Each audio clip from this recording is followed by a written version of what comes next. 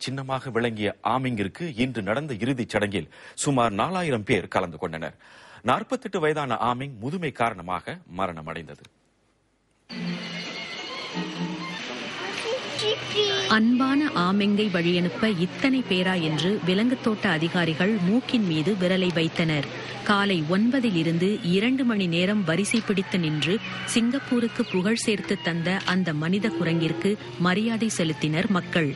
தங்களுக்கு விருப்பமான நண்பனின் முகத்தை பார்க்க வாய்ப்பு கிடைக்கவில்லை பலருக்கு. அத்தனை கூட்டம். வந்திருந்தவர்கள் ஆமெங்கை பற்றி தங்களுக்கு தெரிந்ததை பரிமாறிக்கொண்டனர் முன்பின் அறிமுகம் இல்லாதவர்களும் கூட. Until now.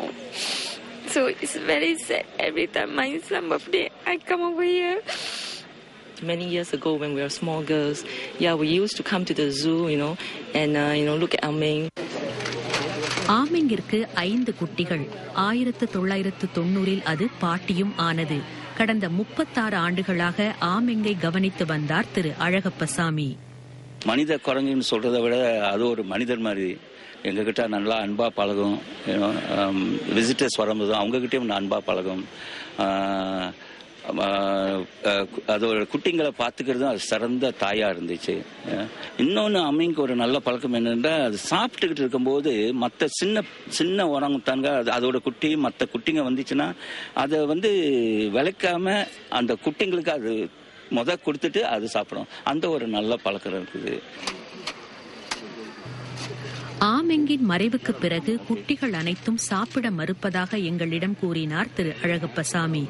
மனிதர்களுக்கு மட்டுமே வழங்கப்பட்டு வந்த பயணத்துறை சிறப்பு விருது ஆயிரத்து தொள்ளாயிரத்து தொன்னூற்றி இரண்டாம் ஆண்டில் ஆமெங்கிற்கு அளிக்கப்பட்டது. அதன் மறைவு விலங்குத் தோட்ட அதிகாரிகளை அதிர வைத்திருக்கிறது. ஆமெங் அடக்கம் செய்யப்பட்ட இடத்திற்கு அருகில் அதன் வெண்கலச் சிலை ஒன்று நிறுவப்பட்டுள்ளது.